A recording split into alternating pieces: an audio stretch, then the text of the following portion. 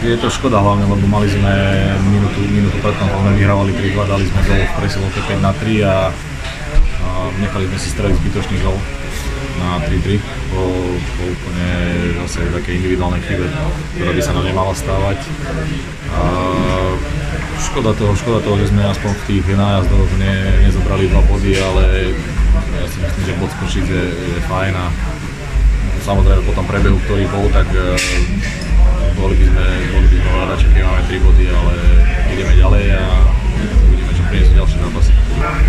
Tak stáva sa nám to, stáva sa nám to v tých zápasoch aj, aj v tých, eh, čo sme hrali predtým, takže to som hovoril, že musíme sa vyvarovať takých, takýchto školáckých chýb a musíme, musíme na tom popracovať, aby sa nám to ďalší zápas nestávalo.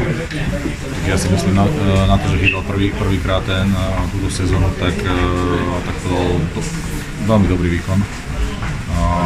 Ja som spokojný, nemohol za tie góly, ktoré dostal. V druhej tretine ešte pochytal, pochytal veľa vecí. Podržal nás v zápase, takže ja som spokojný. Tak e, bola to taká neštandardná situácia, ktorá sa, ktorá sa stala. Proste je to situácia, ktorá tu je na svete, na Slovensku. Ja si myslím, že chalani, chalani to zobrali, ako tým to zobrali veľmi zodpovedne. Bolo super, že to bol Miloš Šeliga. Ja by som sa na to určite netrúfal na tej striedačke, lebo nie je to taká sranda asi, ako to vyzerá. A, a ja som rád, že z tých troch zápasov, ktoré tu, ktoré tu Martin nebol, že sme urobili 7 bodov.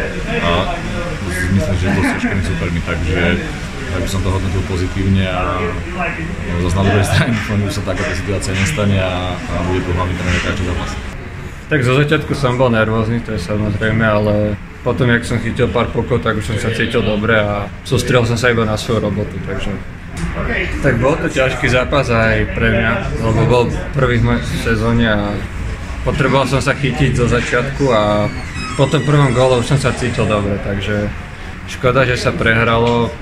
Mali sme 3 body na dosah a samostatných už je to vždycky lotéria, takže myslím si, že patrí veľká poklona chalanom za to, že to zobrali športov a nebrali to tak, že bez trénera nemáme systém, a taktiež náhradný tréner sa toho veľmi dobre chopil, takže myslím si, že odvedol výbornú prácu, môžeme aj jemu vďačiť za získanú tak uh, na mne je šliapať Kivimu na pety a snažím sa na každom tréningu na ňo doťahovať. Kivi je najlepší brankár v tejto lige, takže pre mňa je to veľká škola, že môžem byť pri ňom a snažím sa makať, aby som sa dostal do brany čo najviac sa dá.